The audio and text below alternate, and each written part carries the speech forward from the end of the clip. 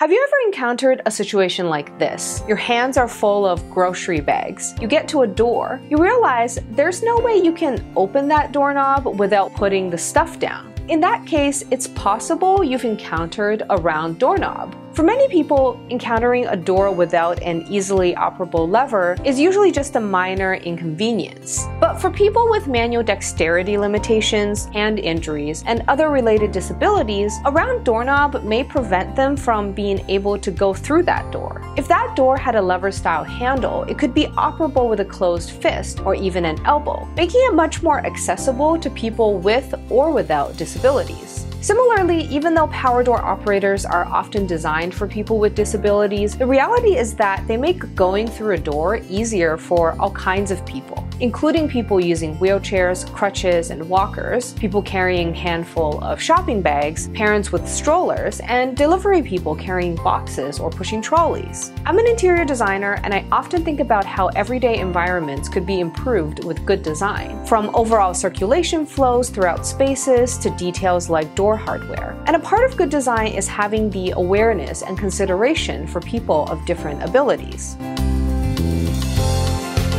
While many accessible design components may have initially been designed with disabilities in mind, the vast majority of accessible improvements to products, fixtures, and environments actually end up providing better access for everyone. Automatic toilet flushes, faucets, and soap dispensers are easier to use for people who cannot reach or cannot operate levers, buttons, and valves, but it also makes using a washroom more sanitary and more convenient for most people. Visually contrasting flooring transitions, tactile warning strips, and cane detectable barriers help many people, whether they have a visual impairment or not, to see and detect oncoming hazards more easily. Over the last few decades, some designers have also adopted the principles of universal design, which is a design approach that considers many different human factors, including abilities, age, genders, and cultural backgrounds. Universal design reframes the approach to how we think about people with disabilities, where their needs are not seen as special circumstances, but as a part of many different human factors that require consideration.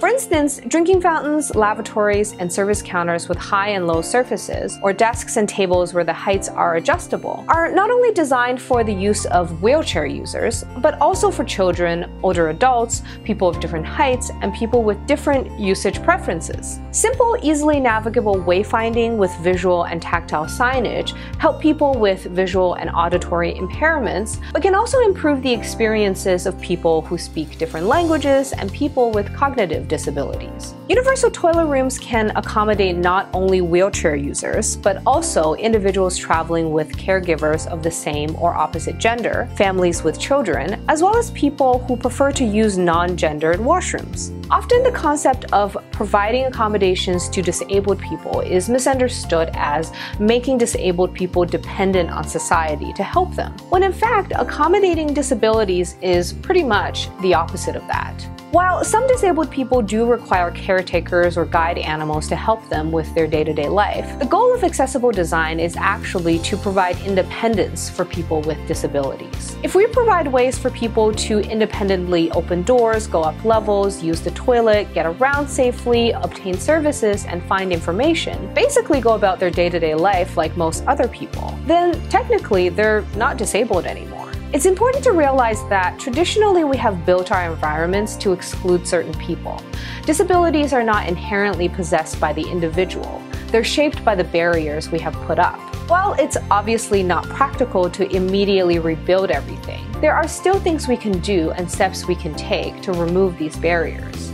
Some may argue that designing and building accessible products and environments can be costly. While that may be true in some circumstances, when it comes to building new spaces and creating new products, there is often not a cost difference to implementing accessible features. Choosing a more visually contrasting color at a change in floor level usually costs nothing as long as the product is the same, and installing one type of door lever over another will result in minimal price differences, if any. But of course, there are still costs to some accessible features, and the retrofitting of existing non-accessible spaces could have a high initial cost. However, in many cases, it is arguably more economically detrimental to ignore accessibility. According to the World Health Organization, around 15% of the world's population live with disabilities, a percentage that's expected to rise in most developed nations due to the increase in the older adult populations. Communities and businesses all benefit from the participation of people with disabilities, as consumers as well as being productive members of the workforce. Even in private homes, inaccessible design will also directly and indirectly cost individuals money, such as in the loss of productivity, as well as in the cost of caretakers or people taking time off work to care for disabled family members. By building spaces that accommodate people with disabilities, we can provide them with economic empowerment and independence. And in most cases, we will also improve the quality of life for just about everybody.